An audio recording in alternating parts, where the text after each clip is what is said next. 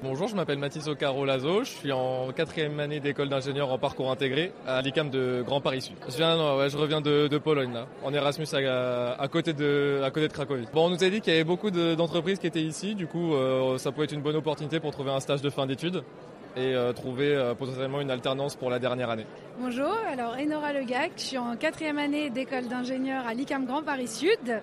Je suis actuellement en Erasmus en Italie, au Politecnico de Milano. Et je suis revenue aujourd'hui donc pour le forum ICAM à Espace Chambéret. Donc moi, ce qui m'intéresse, ça serait plus le secteur de l'agroalimentaire. Euh, donc euh, je me suis renseignée au préalable donc sur les entreprises qui étaient présentes.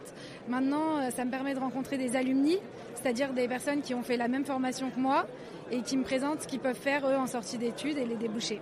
Euh, bonjour, moi je m'appelle Héloïse Souchot, donc je suis en quatrième année à l'ICAM de Grand Paris Sud également. Euh, en ce moment, je fais ma I48, donc c'est ma mon deuxième semestre de quatrième année à Toulouse pour une spécialité en bâtiment. Et c'est pour ça que je suis venue aujourd'hui, c'est pour rechercher euh, des entreprises spécialisées dans le bâtiment qui pourraient me, me proposer un stage de fin d'études. Alors pour préparer euh, l'arrivée euh, au salon, on a l'opportunité d'avoir un, une plateforme en ligne pour euh, voir nos entreprises à l'avance qui nous intéressent, donc par thème.